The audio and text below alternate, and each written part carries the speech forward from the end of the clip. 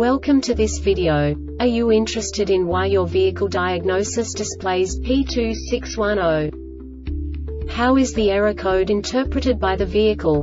What does P2610 mean, or how to correct this fault? Today we will find answers to these questions together. Let's do this. First, let's look at the history of diagnostic fault code composition according to the OBD2 protocol, which is unified for all automakers since 2000. We divide the electric system of automobile into the four basic units. Powertrain, body, chassis, network. This distribution is defined in the first character code. If the second character is expressed as zero, it is a standardized error. In the case of numbers 1, 2, 3 it is a more prestigious expression of the car-specific error. The third character specifies a subset of errors. The distribution shown is valid only for the standardized DTC code. Only the last two characters define the specific fault of the group. Let's not forget that such a division is valid only if the other character code is expressed by the number 0. Our website airbagreset.sk produces useful videos for you. You do not have to go through the OBD2 protocol anymore to know how to troubleshoot any car breakdown. You will find all the diagnostic codes that can be diagnosed in a Alfa Romeo vehicles. Also many other useful things. The following demonstration will help you look into the world of software for car control units. You unbelievably can move the video a bit further.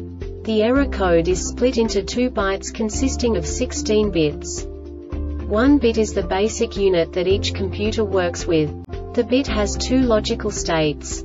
0, low level, 1, high level. By combining the first two bits, the basic character of the error code is expressed. The next two bits again determine the second character. The last beat styles of the first byte define the third character of the code. The second byte is composed of a combination of 8 bits. The first 4 bits determine the fourth character of the code. And the combination of the last 4 bits defines the fifth character. A single byte conceals 256 possible combinations. We now know in what way the diagnostic tool translates the received information into a more comprehensible format. The number itself does not make sense to us if we cannot assign information about it to what it actually expresses. So, what does the diagnostic trouble code P2610 interpret specifically, Alfa Romeo car manufacturers? The basic definition is ECM internal off-timer performance rationality slow. And now this is a short description of this DTC code.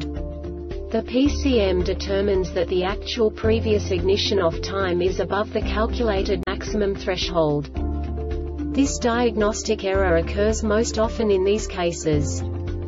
Cooling system issues ambient air temperature AAT sensor engine coolant temperature ECT sensor powertrain control module PCM software powertrain control module PCM The Airbag Reset website aims to provide information in 52 languages. Thank you for your attention and stay tuned for the next video.